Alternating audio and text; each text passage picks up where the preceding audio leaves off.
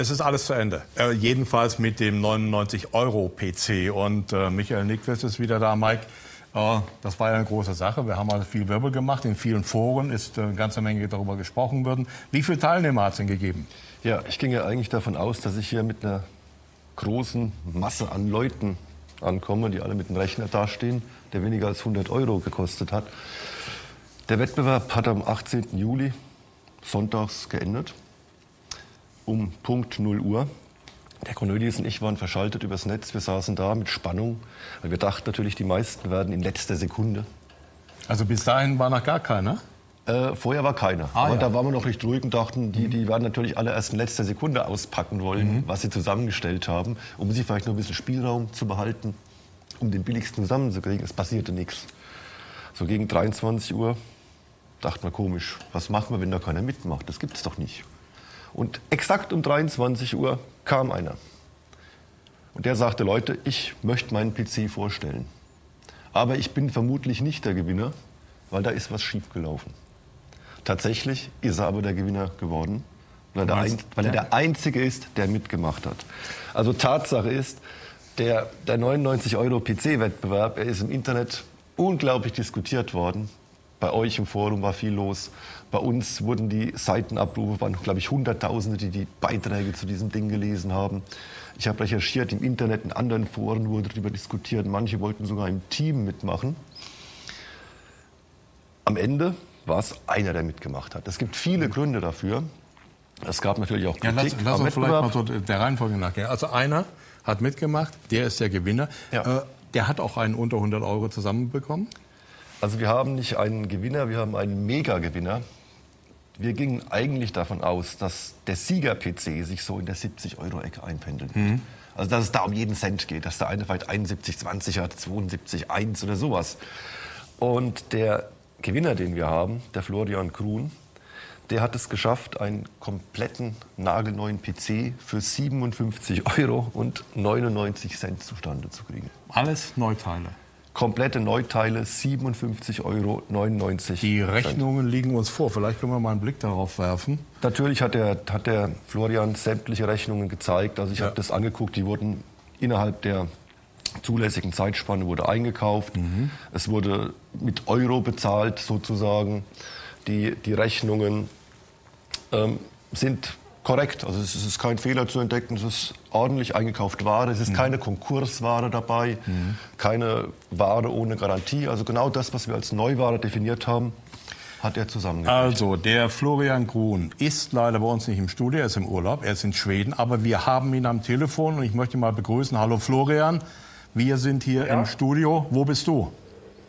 Ich bin in Schweden, in Schweden mitten in der Natur, in der Wildnis hier, habe zum Glück Handyempfang und kann heute mit euch reden. Ähm, bin so ungefähr zwischen Stockholm und Göteborg in der Mitte. Mhm. Hoch, Jetzt habe ich. Seen sind. Ja, äh, und die ganzen Mücken. Ich kenne die Gegend. Äh, jetzt äh, habe ich gehört, das war nicht so ganz einfach. Da war so ein bisschen Abenteuer dabei. Was ist dir passiert? Ja, nicht so einfach war es mit dem Mainboard. Also ich habe entdeckt bei einem Händler, der hatte so einen Restposten also der hatte nur noch eins übrig und hat gesagt, äh, kostet nur 29,50, das ist ein bisschen älteres Modell, ist aber neu und in Ordnung. Äh, das ist verloren gegangen unterwegs. Ah ja. Das war irgendwie, der hatte mir eine Paketverfolgungsnummer geschickt und da habe ich erst geguckt und da hieß es, ja, das dauert ein bisschen, bis das überhaupt drin ist bei DHL im System. Und dann war es weg. Ja, und dann? Was ist passiert? Dann war es weg, genau. Und dann hat er gesagt, gut, das ist jetzt weg. Äh, Geld kriege ich zurück. Ähm, und dann habe ich gefragt, ob er nicht noch ein anderes hat in der Preisklasse. Also ich hätte gern Mainboard, irgendwas anderes. Ähm, und da hat er gesagt, eins, was er mir schicken will, das war dann eins von Gigabyte. Mhm. Das ist dann auch angekommen für den Preis 29,50. Ähm, hat auch funktioniert eine Woche lang. Ich habe dann mein System installiert auf dem USB-Stick, im Ubuntu.